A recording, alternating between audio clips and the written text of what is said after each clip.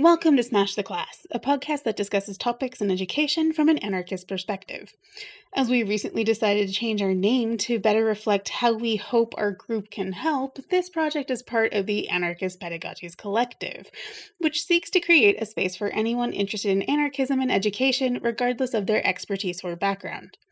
For our fourth episode, we decided to record a conversation between four members of the organizing group.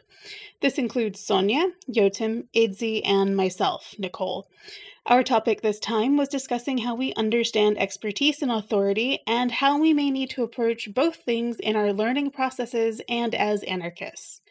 The original impetus for this conversation was to discuss what was a monthly event that we'd like to revitalize again Joyful Resistance. We originally billed it as a space for anarchist educators to sometimes commiserate, but mostly to share their experiences and successes in building alternative learning spaces. However, we noticed that a lot of people kept coming to us as if we were experts, and to an extent expecting that there was an expert who had all the answers.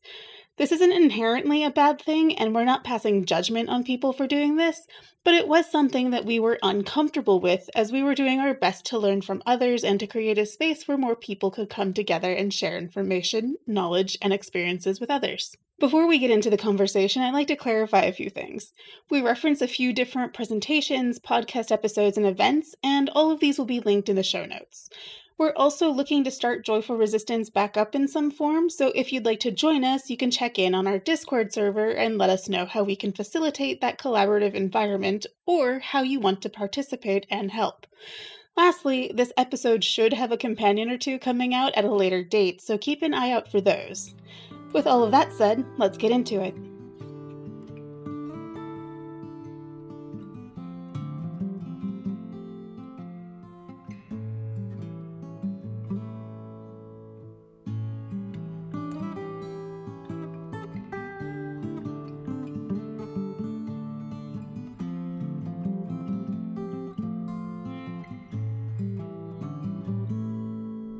Everyone. I think this is the first time that I'm actually speaking on a podcast episode. I think it is the first time you're going to speak on one, other than just listening to it. Let this be the last. Nobody needs to hear me.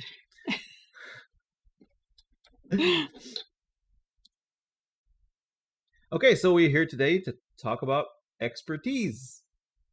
Woohoo! Um, maybe the best way to start would be to give a little bit of a background on why we're uh, we've chosen to record this episode. So, would anyone like to start us off with a bit of background? Someone intro it, not me. Sonia is pointing, I guess, at me. or No, I you, don't you know. can do it. Sonia, you can do it. Okay. Uh, well, uh, the background for this podcast today was actually that uh, for soon two years ago, we started this anarchist pedagogist collective, and one of the well, one of the the groups we have had is the the joyful resistance group, both in English and Spanish, and um, during our internal conversations in the collective or at least in the organizing group so we thought that this was going to be a kind of a, a group to to to do some some mutual aid but especially for the emotional part of what means to be in a learning process not necessarily just for teachers or or yeah but actually for anybody who's interested in these learning processes uh, what we soon found out is that perhaps uh, the idea of why we were having this uh, these groups, these joyful resistance groups, perhaps it wasn't explicitly explained or or yeah, what what is it we wanted to facilitate with these groups? And the idea was actually this: just to make to have some kind of spaces to get to know each other and create networks, community to support each other because a, lot of well anarchists and and in this case teachers or educators or yeah anybody in learning processes sometimes we feel very alone because we are alone in our spaces sometimes. But what we what we found out is that both in the english speaking group and the spanish speaking group is that actually people was mm, not not explicitly but actually they expected us to show some kind of expertise in different topics. And this is actually the background right? Because uh, we the, the ones that are in the coordinating group we couldn't understand how it came that people thought that we were any kind of experts. I mean, of course, some of us actually are trained educators. That's correct, uh, but that doesn't mean we are more experts than anybody else. Then can can be interested in you know uh, developing and getting to know how is it to be in learning processes that are based on anarchist principles. And there's a lot of different ways of actually uh, doing this. So this is the background. Today we are going to share what it was uh, the, the the the idea at the beginning, how we have thought that it has to meet people in other ways, perhaps even perhaps even in other platforms, because we started doing it at Zoom and now we are more in in Discord. But how how can we as as anarchists actually try to engage in much more self-organized spaces where the idea of authority and expertise is also practiced from anarchist principles? So that's hopefully what we can start talking about today and it's not for sure that we are going to come with any recipe or a final idea but actually try to yeah uh, try to talk about these topics and how can we continue creating community among us. Yeah, I just want to add to that, Sonia, that like we've been talking to, about this for a while actually before this podcast has been recorded, but but just now with your intro, um, something came up to me, which is this the process that you've that you've um, described that you know I was also a part of, so like I experienced it, was in itself a learning opportunity. We are kind of looked upon sometimes, I think, as a collective, um, as if we know what we're doing, not only as educators, although people in this collective are way more trained as educators than I am, for sure. But we are also kind of looked upon as like trained in being an online collective, which I think we also are not not really. Some of us are better at it than others, definitely better than me, but not really that way. And I think this experience that you've described was was a really good um, example of us not really being that great at it, but just trying to do something, um, and admitting that we don't really know to the extent that we maybe should, or at least to the extent that people think we do, um, know how to do this, and we're kind of learning as we go along. So I, th- I think that's important to also mention that in kind of a meta way. And another just quick comment. Hopefully, this will be a part one of two, maybe more, where other people from the collective might join in and talk about their perspective and expertise. Um, if you are listening to this and you have not shared in a recording and you want to, come at us. We're we're, we're happy to, to, to host you and have some fun. So that was just like my brief tangent. come at that. us.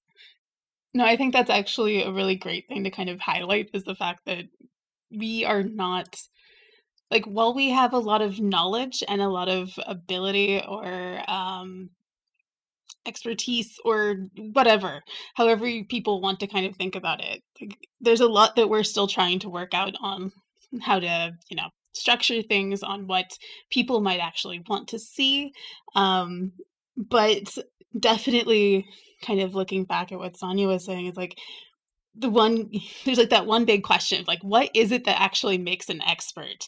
And why is it that we keep going back to like experts?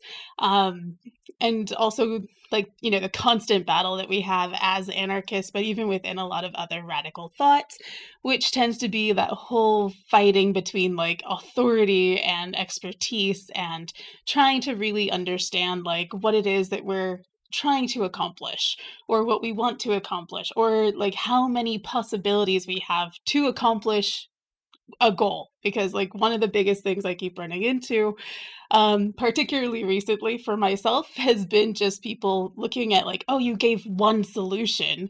Uh clearly that must be the only solution to this problem and it kind of harkens to that whole idea of like well actually there's lots of people here. We need to have many like many solutions that actually go with this. Um, so perhaps we can start off with like talking about what you know what is an expert what makes an expert and how do we view this? I'll let someone else start off. Well um, one thing that occurs to me i think uh, in the general population right experts are considered people who who have credentials people who uh, you know, are, are academics, people who are appropriately trained um, in, their field. And that's one of the things that um, I feel like anarchists often say that they reject, right? There's this sort of claim that we push back against this. But then if you actually look at, at who's held up as experts within the anarchist community, of course, you'll often see people who um, have you know higher degrees, people who are meeting the same expert uh, expectations for expertise as a general population. So I feel like there's kind of a disconnect there between uh, claimed, I don't know if values is the right word, but uh, and what people actually show in their behavior. So I think that's sort of something that needs to be challenged, this sort of traditional idea of what expertise is and how it's gained. I definitely see that a lot with like as much as I do like his writing style, uh anarchists cling to David Graeber. like so many particularly in North America I see this and even a bit in like English speaking countries but like just that clinging to him and you're kind of going but he he, he is known as the anarchist academic and you know I I often see that quite a lot, and it is one of those weird places where we aren't actually challenging, you know, what it means. Um, I also highly agree with the credentialing thing because uh, the whole idea of like, because you know, I'm a teacher. I went through the whole process of becoming one, going into debt in a university to become a teacher, uh, and you know that whole idea just that I know every single thing that I'm doing, and it's a very bizarre position to be in where it's like I don't actually know everything. Like I do have an understanding of, you know, um, child psychology or teenager psych uh, not teenager psychology, but the psychology of teenagers because, you know, otherwise that's a weird phrase. But like I have an understanding of these things. Um, but it's also stuff that's not really even taught in the programs and it's stuff that you pick up along the way and you start learning how like different kids work in different ways and how all these different methods are. And so it's like that whole idea of having a credential, like, yeah, I have my, you know, graduate diploma of secondary education, but it's like that didn't prepare me at all for working with kids. or to teach or to do anything. Like I really don't feel like that even prepared me as a like a you know a quote proper unquote educator.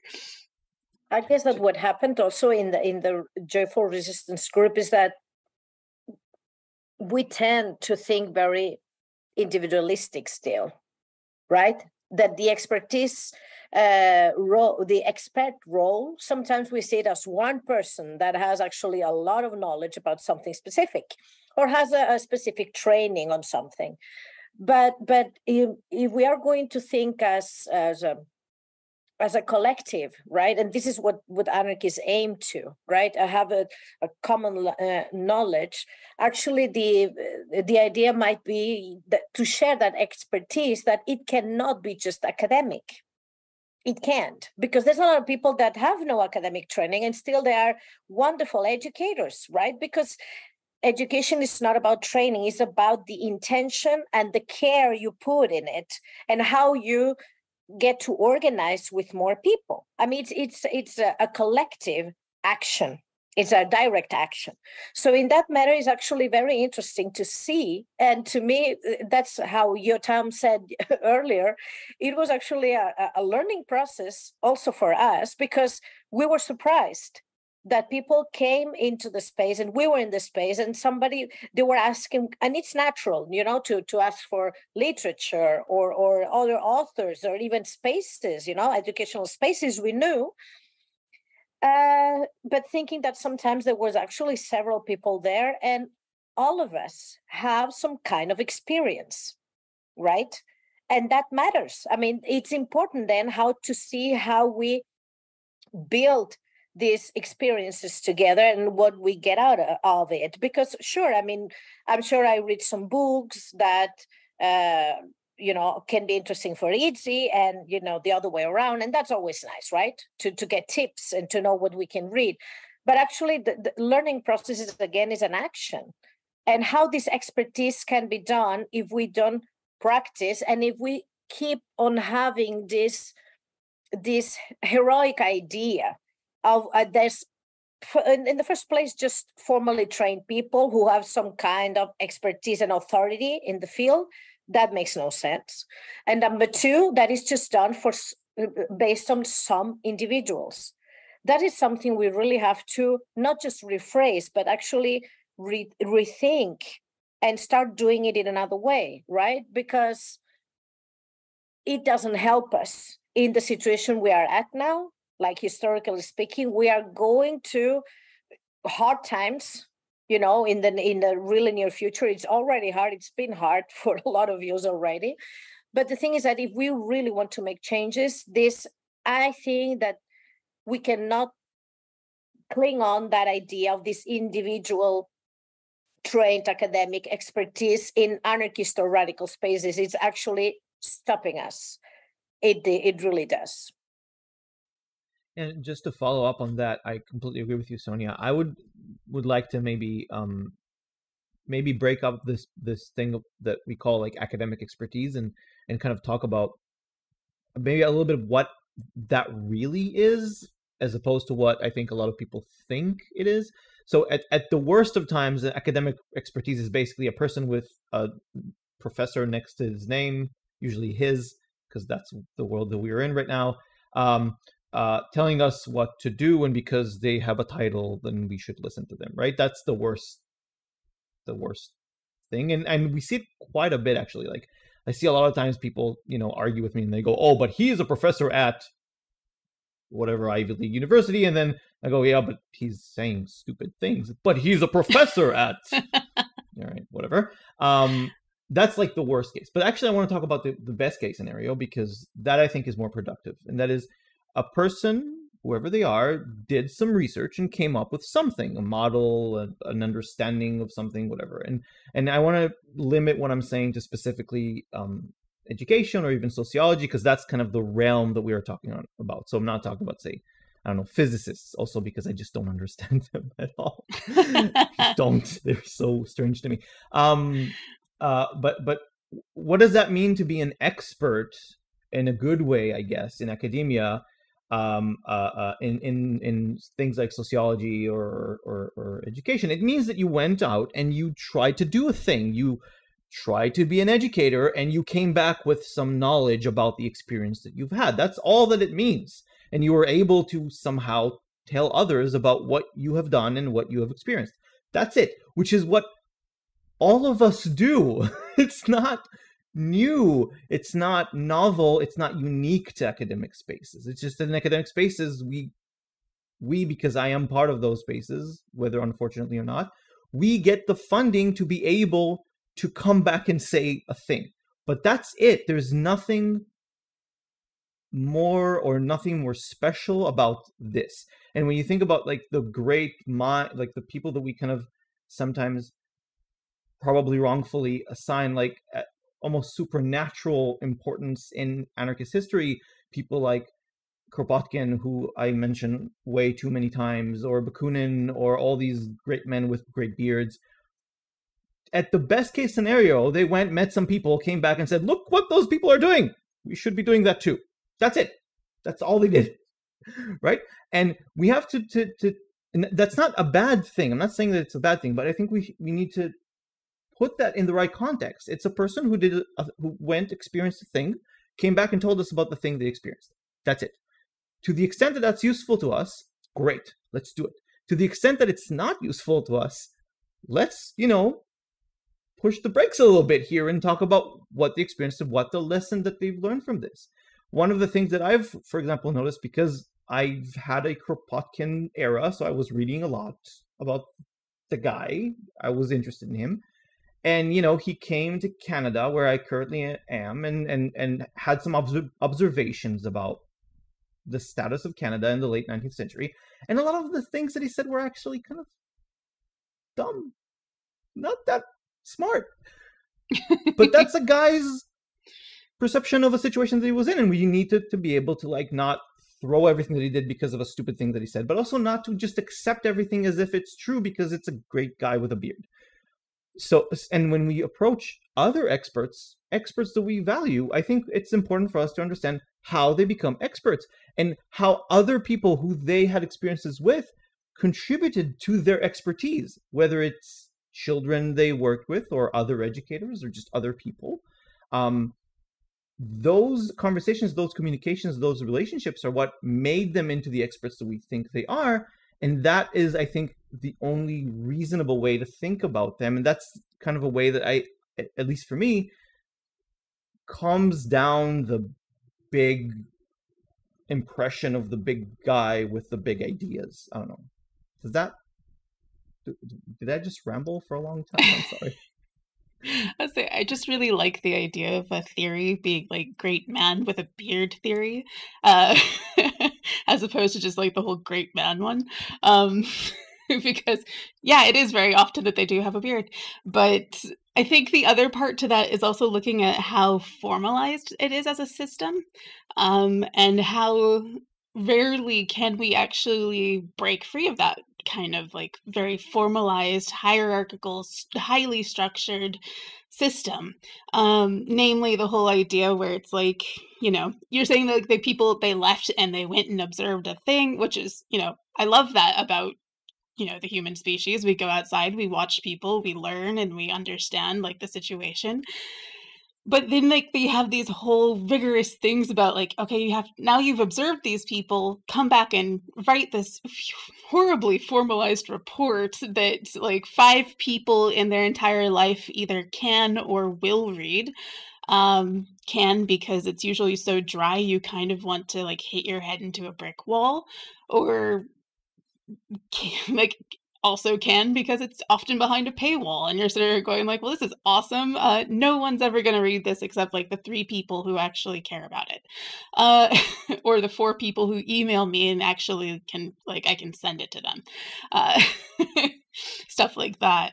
And like that whole idea of like just how formalized that is and how limiting that is because there's a certain structure that people have to engage in. And because like my background is history um which is you know like when i did do my whole academic stuff my bachelor's degree was in history. I did a bachelor's degree in anthropology at the same time and one of the things that it just stick with me is how often my history professors were yelling at me for writing papers that were too anthropological it's like there's too much culture in this history and you're kind of like well i'm sorry but like we are humans that's inextricable. And so that whole idea of like very formalized systems and like what they have to look like like how anthropology needs to look different from history and how that needs to look different from psychology from sociology from education for some reason which i think is a very bizarre concept considering how often education takes from everyone um, and just this whole idea of you know part of that going out and observing then becomes that whole well i'm collecting this information to now like create an object a artifact um, something that i can then i don't know my university can sell or someone can hide in a archive somewhere that you'll never see so it's like i think that bit as well like that kind of gets like lost in that whole thing where it's like yeah there are academics who are doing like really important really cool work but then like often we're like where is it? Where did it go? Yes and that in that exact thing where it's hidden from you either because of paywalls or because of terrible language being used you know very inaccessible is part of why people look at men with beards and with such reverence. I don't understand what they're doing, so clearly it's important. And let let's let them decide for us. That's like part of the mechanism, and it's more rhetorical than real. It's just it's the, the rhetoric of academia, um, and and it is definitely harmful. One of the reasons why I have so much t- hard time with physicists is because I have friends who are physicists, and when they let me read their their journal articles, I was like, "This is not English. There's no. This is not language. This is just gibberish signs on a page. I cannot understand any of this. Oh well, then you're not enough of a physicist. Okay, then bye. not interested. Let's walk away from this. And I'm sure that it's the same for people from outside reading stuff that I do or the people that I know do, and it's it's a re- it's genuinely a real problem that we we definitely have to deal with. Um, I feel yeah. like that kind of ties into, uh, uh, or I guess naturally leads to the problem that that we still see of there being uh, people sorted into two classes, right? There are teachers and there are people who are taught, and those are two separate categories.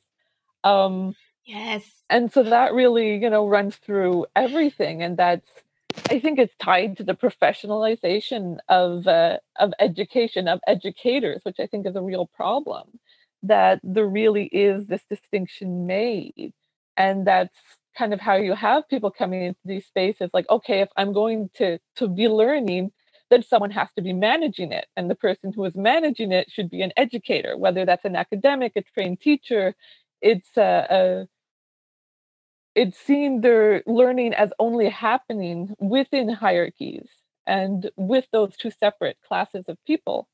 Um, when, of course, really, you know, as has already been brought up, everyone has knowledge and skills to share, and everyone has things they don't know, things that they can learn from others and uh, it's really a, there's really a need to get over the idea that there are separate groups of people who you know knowledge havers and those who lack knowledge um, and see it more as a, an exchange between equals.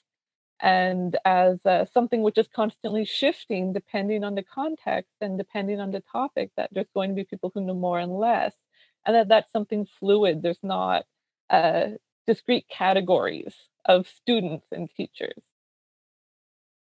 I very much agree with that. And I think that's why, actually, uh, in traditionally speaking and historically speaking, anarchists have seen uh, learning as a lifelong process that we do together. I mean, I think that's the key actually for what uh, Idzi is saying, both that we ha- should be should be very consciously anti-hierarchical. And actually that these two roles of being a teacher and student they are not separated. We are all learners all the time. And that's i think it's a, a part of um, perhaps why it felt kind of weird for some of us to think that people were joining the joyful resistance groups uh, expecting this expertise while perhaps we are very aware that we are learning. I mean when we started the collective it's it was i mean the, the it, we wanted to get to know other anarchist educators and, and learners right? I mean it's um, we never meant to be kind of a non-academic space with that kind of informal expertise. That wasn't the idea. I mean we saw ourselves as and we see ourselves as learners and we would love to do it together with people right? And i guess also what you're naming is it's really important it's something we have to work on with ourselves right? That yes sometimes we we go into spaces and uh, at least in my case uh, i've been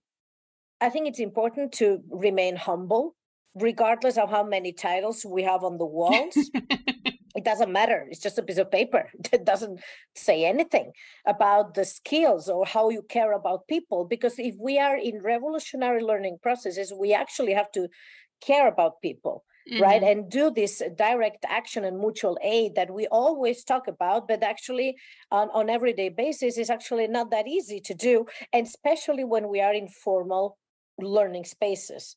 Um, I'm an academic as well, and I always, always get comments that I care too much about my students. That makes no sense at all. I I do care about my students and I see them as my companion companions of learning processes. I tell them exactly that explicitly. But then uh, some of my colleagues think, of course, that I'm not authoritarian enough. Well, because I never meant, I don't want to be authoritarian. That's number one.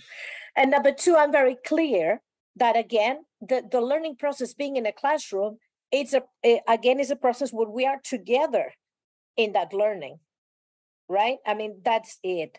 And especially again, thinking that at least um, some of us, we, we really have to, to remain also very aware that when we are in these learning processes, uh, it might happen that uh, we, we have to actually be aware that most of us, when if we go to formal schooling, we get trained to obey.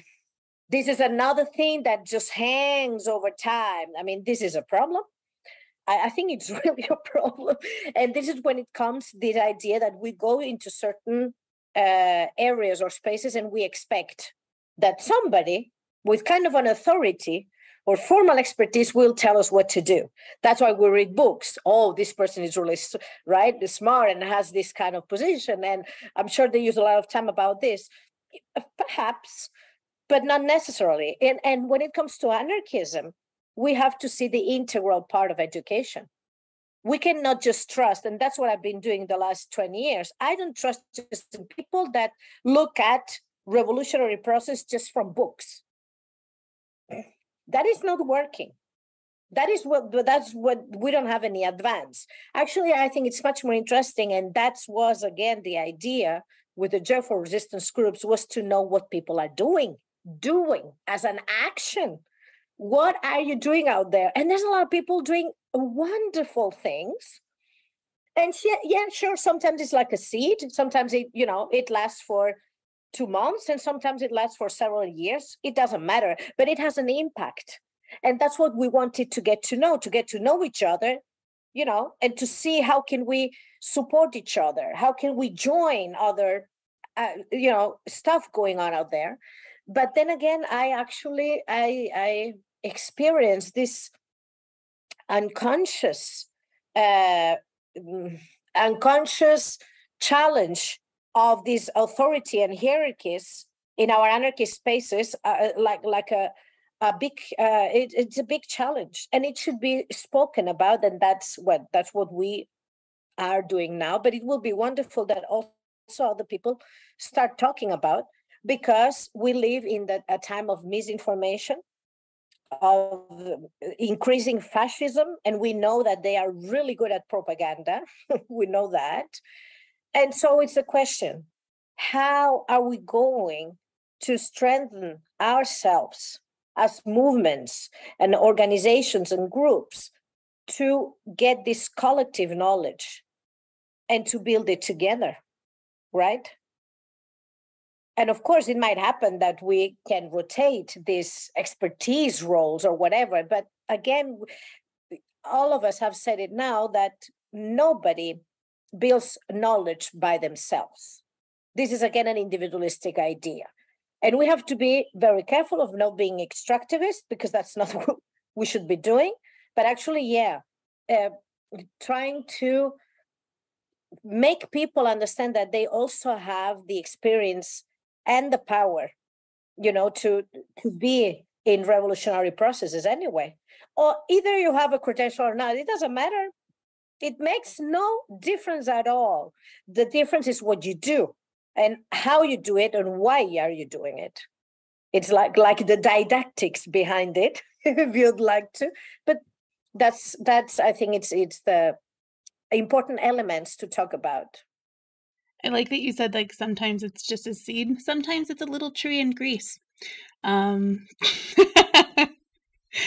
but also a couple of the things that I was thinking about, like first you said that like you get accused of caring too much. I have literally had conversations with principals where they have sat there going like, well, it seems like your relationships with students are way more important than what you're doing in class. And you're kind of like, because in order for all of us to learn uh, for them to trust me for me to trust them for us to be like on the same page to build an understanding it's like I have to build a relationship with these like these people.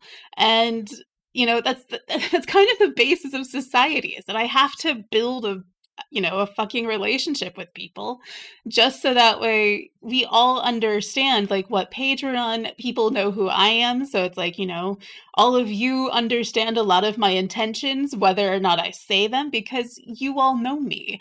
Um, perhaps not many people listening do, but you know, obviously, like the people that you work closely with, they understand you because you've worked hard to build those kind of trusting relationships. And you've put that effort in, and people have shown you uh, who they are and what they care about and what they can do. And you've done the same with them, like that whole mutual, like, self care, that whole mutual support, all of that.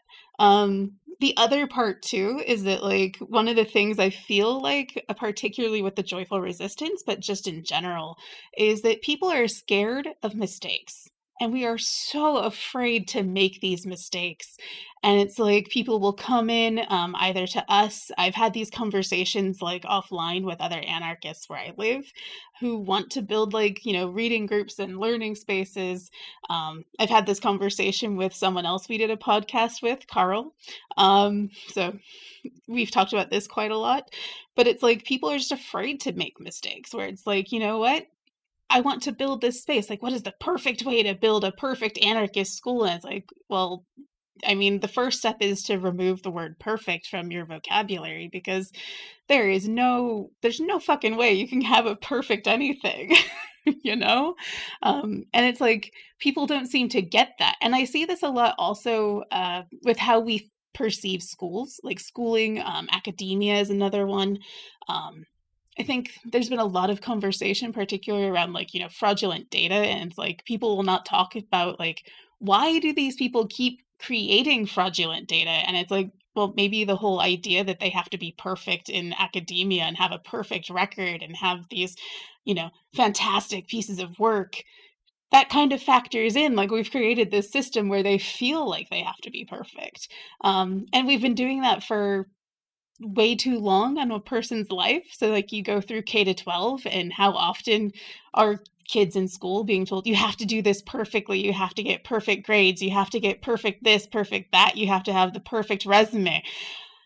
And like I we're just so like we've lost this ability to be like okay i can screw up. I can make a mistake. Like i can do something wrong and life will go on and we can rectify it and we can do that like all of us can work together to fix that. And i feel like that's just a huge part in like our learning process like both in terms of like joyful resistance that a lot of people are coming and going like how can we do this? Like what is the correct way of handling this situation? It's like well correct depends on who is in the room. Like you know like correct for me is not going to be correct for like yotam correct for like Idzi is not going to be the same for you, Sonia.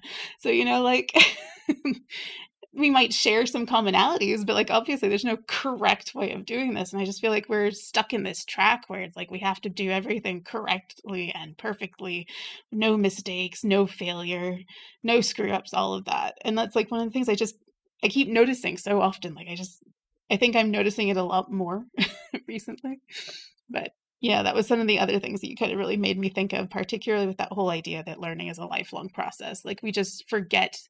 Um, again, we're trained into thinking. It's like uh, it used to be that we were trained into thinking once we hit grade 12, well, I'm done. I can now go on to live my life.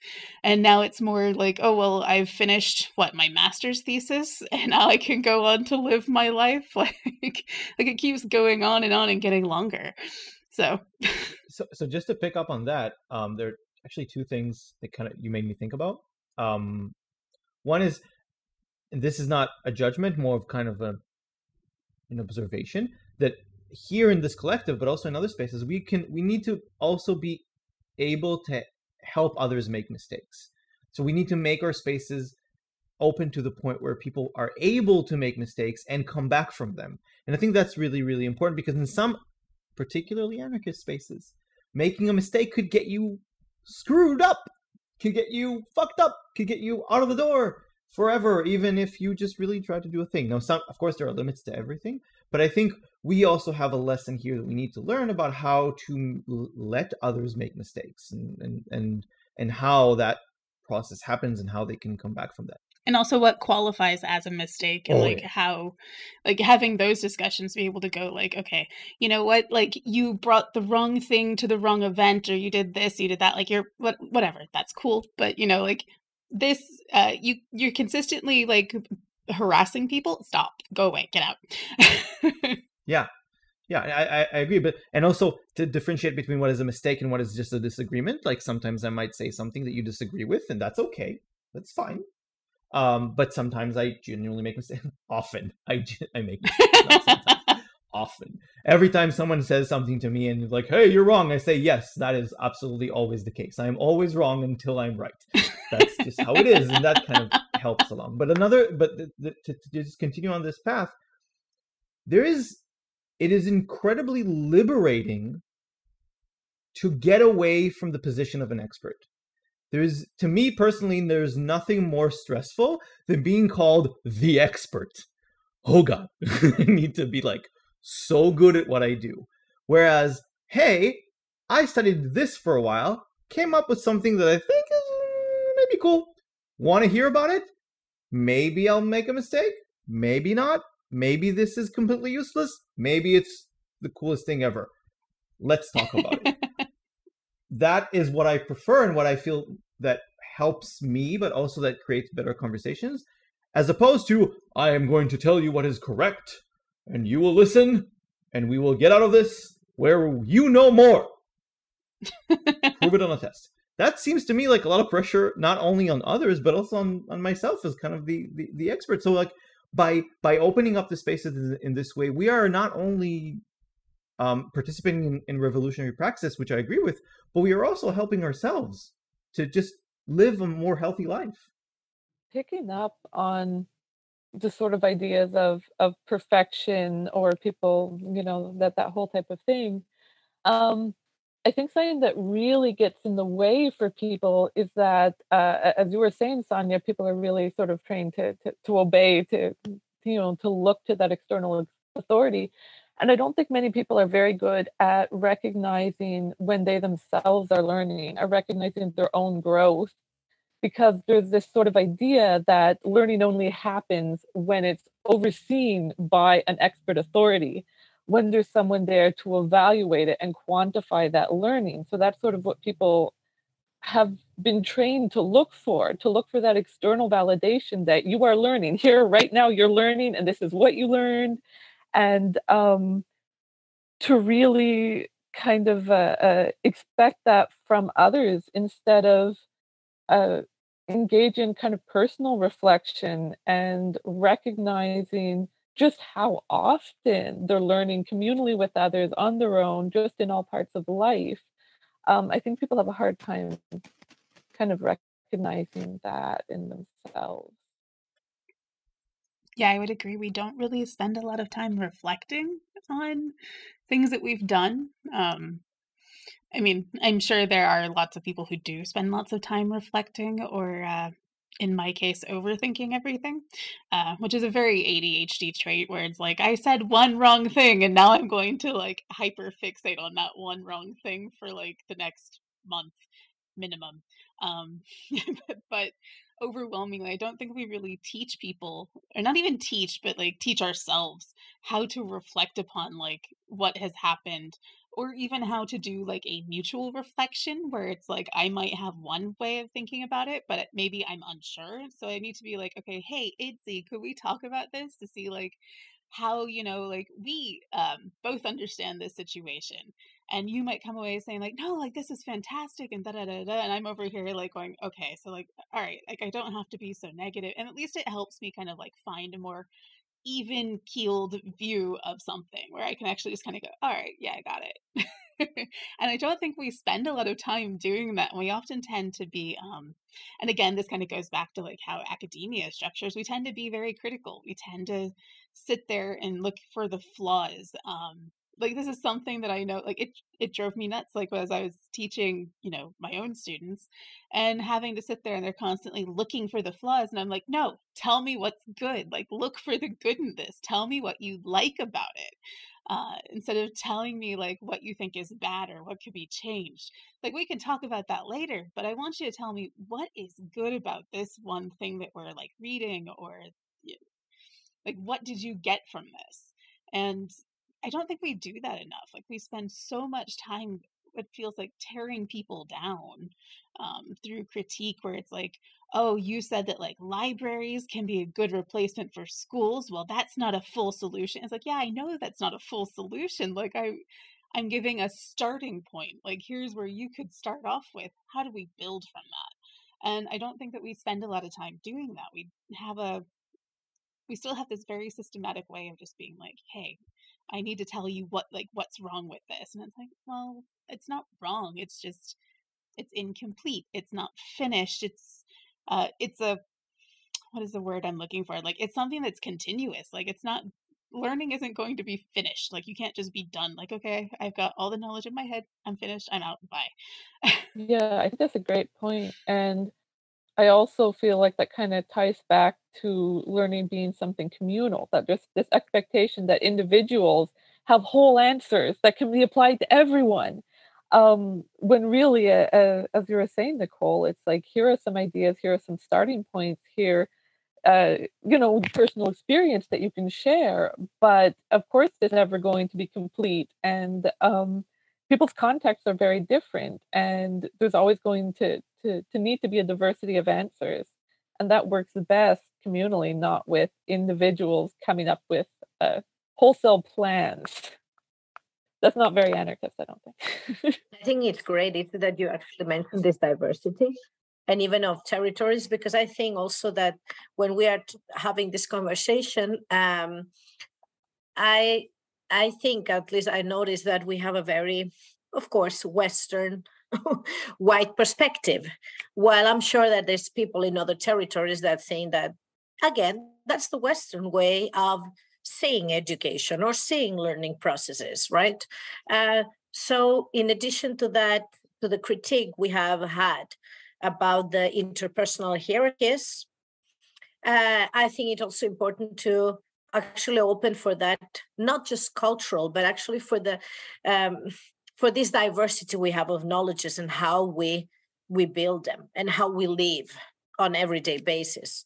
Uh, because yes of course anarchism is one way but uh, i've noticed uh, in the last couple of years as well that you know I, I knew about other pedagogies that actually overlap a little bit with the way we we do things but it might be also a little bit different. And then i'm talking about you know this rural education that is very much used in what it's so-called south america or Abya Yala um, and and uh, or even indigenous communities where they have you know more intergenerational educational processes. Uh, and i think that's also important to know right that as you said, it's uh, we we are also in different contexts, and the thing is that our we are very much implicated in this globalized Western productive based way of seeing education, like you said, right? I mean, if we, we cannot be sure if we're learning we are not being evaluated and quantified. Well that's wrong. And that's other that i i think that's the only an, another point that i've seen that people get a little bit um, that we are so trained to do this that even in conversations uh, people seek this kind of validation instead of uh, relying on as Nicole said, in you know uh, collective reflection, for instance, or, or just going back and say, "Hey, I need a couple of weeks to think about this because yeah, you know, I need to digest, and I need to um, attach everything we have been talking about with my own uh, with my own activities, and then see." But um, but I think also uh, I, I think I see a lot of these globalized tendencies uh, in what we want to deconstruct and what we want to abolish, because I think uh, there's a lot of people in the collective that actually I'm sure that they define themselves as abolitionists. in many ways, either school abolitionists or ac- academia abolitionists. Or, but the, the, the thing is that, yeah, how are we going to open for that diversity of radical learning spaces that also will be based on that uh, that materialism that we also would would have to use and um, I think that's what's also the idea, right? When we started with those joyful resistance groups, is to know what are they doing, you know, in the other side of the world? Because I'm sure, you know, it doesn't matter if they call themselves anarchists or not, perhaps, but you know, the practices are liberatory, the practices are revolutionary, the practices are anti-capitalist. So that's the whole point. And I think that, uh, yeah, in in us, it also we bear especially you know people train in white systems uh, or western systems we bear a lot of responsibility actually yet to deconstruct all these frameworks we are talking about that we internalize. That's the whole problem right? That in a in, they are in they are a part of ourselves and it takes time to unlearn. We have had other podcasts about unlearning but but uh, it's it's an important thing because we we are actually indoctrinated to follow these paths to live in hierarchies to believe in expertise to obey not to ask questions not to be critical right? So uh, the, the important part, uh, uh thing i at least it would be very enriching to know again what people are doing and how they are doing it. Not just to and not to criticize that it's not the point as as nicole said but actually knowing okay what is working? How long? What did you do? We, would love to know. And the most important thing we love we'd love again to support each other not just to so, show solidarity as allies because actually at the end of the day that doesn't mean anything except that those are nice words but actually to be uh, mm, good comrades in the way that you know we can be we can support each other in our struggles. Because of course um, i mean I, I, live in europe and you can say a lot that we are much more privileged here than in other ways. We are colonizers right? So yeah not not privileged naturally but yeah colonizers and that's why we have the you know the way of living we do have but again it's very structured it's very authoritarian so I actually, as an anarchist pedagogue, I feel that I have this extra responsibility to break this down because nobody wants it. And actually, if we are going to be a collective, we also need to give space to leave people that are doing wonderful stuff with, with some of the same values that we that we work with one of the things that kind of struck me early on when uh, in studying anarchism is that the practice of anarchism is like there's a there's a universal value, right? We want liberation for all, but there is a very particular type of practice for that for anarchism that is specifically uh place based. So we, we we don't assume that there is an overarching solution for every person everywhere in the world. This is has nothing. It's not necessarily about education. It's about all anarchist practices. Every community needs to decide for itself what its liberation looks like, and only by communities being able to, from the ground up, decide on their own liberation, and only by acting in solidarity with others who form their own particular solutions, can we actually reach the revolutionary moment that we are looking for. And that, to me, was always a very inspiring part of of anarchist theory and kind of what pushed me towards anarchism from other strands of socialism. All that to say that in education, particularly, to assume that a, an expert that doesn't know you, that doesn't come from where you are, that worked elsewhere, can tell you what to do in your particular circumstance is just not only objectively problematic, but also from an anarchist ethic, a huge problem.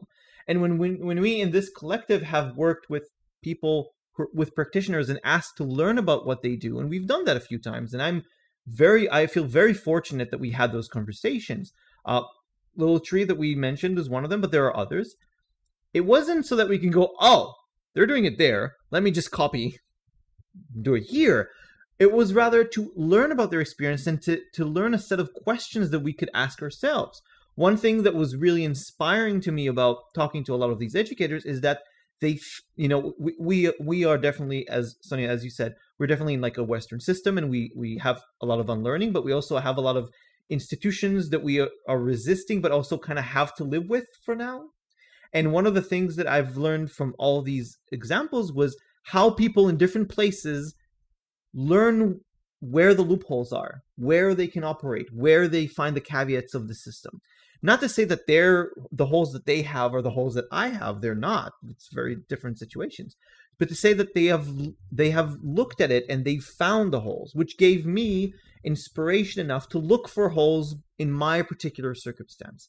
And the only real way for us to move forward in anarchist education, I think, is by learning from each other's examples, not to copy each other, but to learn a sort of set of critical questions critical modes of, of study, of, of intrigue, of being curious about our own predicament so that we can create our own particular solutions.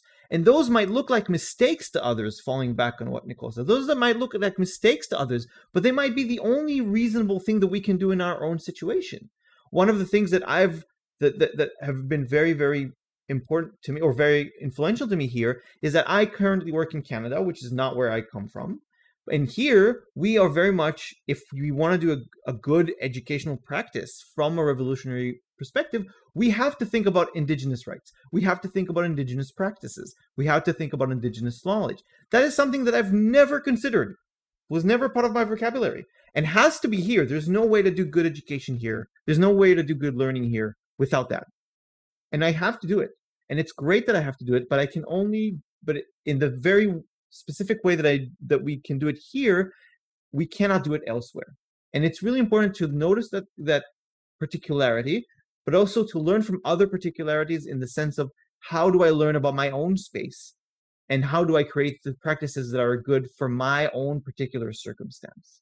No, I definitely like I agree with that because like having the like again looking at little tree because they did talk a bit about their um like the legal structure because I, I think we did ask them about that. I'll be sure to put the like the presentation they did um, in our show notes for this one but as well as anything else that we've mentioned. But like when they were talking about it, they're talking about all these little like little legal loopholes where it's like oh like our students come to us they're with us uh, through the whole year and their parents just have to sign off that they're like what on vacation or something of that nature where it's like they're just you know they're they're not in the country. They can't be in a, a, you know like a traditional school or something like they can be registered here and they go to school here and so on.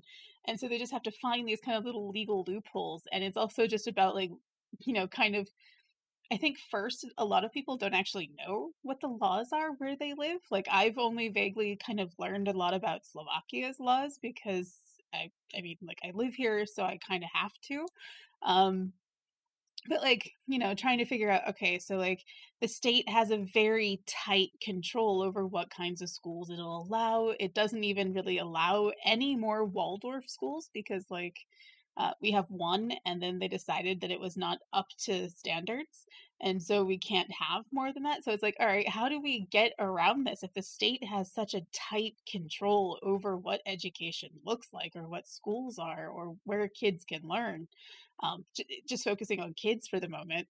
And it's like, how do we get around that? And it's kind of like, okay, could we do like summer camps? And so I start looking at things um, like budding roses over in like Portland, where it's like, can I actually, you know, could I make something similar with like that? Can I work with anarchists here who could help build something like that?